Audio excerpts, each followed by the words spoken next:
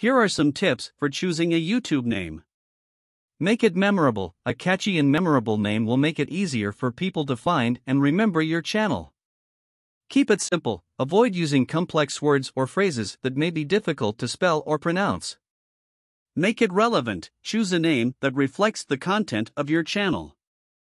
Use keywords, including relevant keywords in your YouTube name, can help your channel show up in search results.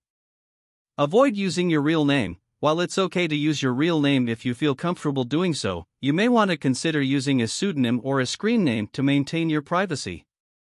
Be unique, avoid using a name that is already being used by another YouTube channel.